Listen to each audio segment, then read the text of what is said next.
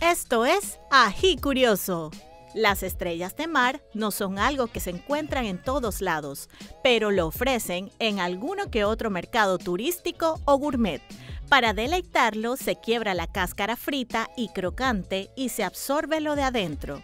Los bichos de mar vendidos vivos en los mercados o puestos callejeros son un común en todo China. Así también las tarántulas y otros insectos fritos servidos al estilo brocheta o en cono.